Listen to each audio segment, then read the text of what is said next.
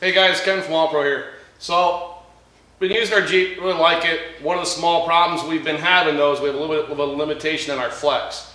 That's, even though it's Rubicon and we can disconnect the sway bar, the extended links are only so long, you can only get that uh, the link to extend so far, no matter what you do. So we're gonna put disconnects on it. I've been contemplating what I wanted to run for disconnects. Lo and behold, Rusty's Off-Road sent us some pretty cool disconnects. They just came out with these. They're not even on his website yet. They are available. You can give us a call or him a call and get a set. So they're adjustable links. They come with these really snazzy little brackets to raise them up a little bit. And he even included some nice little stainless steel brake line extensions because once we can actually disconnect and get full maximum articulation of our suspension, factory brake line could potentially hang up some.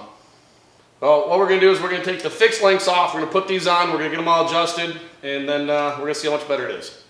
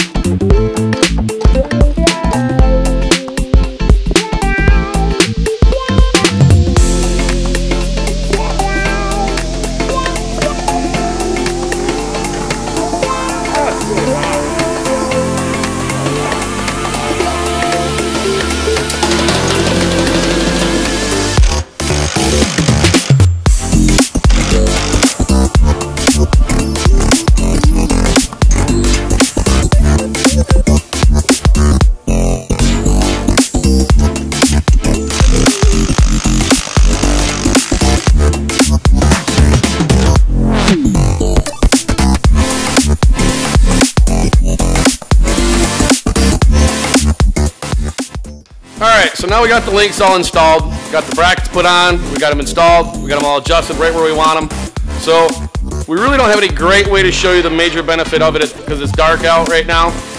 What we're gonna do is in about four or five weeks here, we're going on a huge out west trail riding trip. And uh, in the rocks is where you're gonna see the largest benefit when you're gonna want the articulation. So in the meantime, we're gonna go hit a quick trail ride at the local Jeep Club and have some fun as an excuse to supposedly test them out. But we'll report back later as soon as we go on our trip.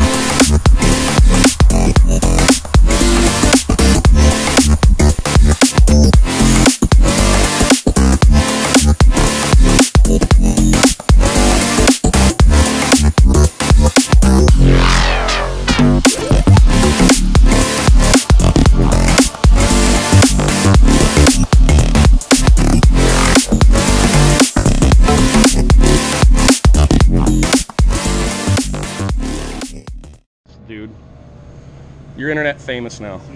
Like, footage for our video is always hard to get. Always that. Hold up the snack sticks.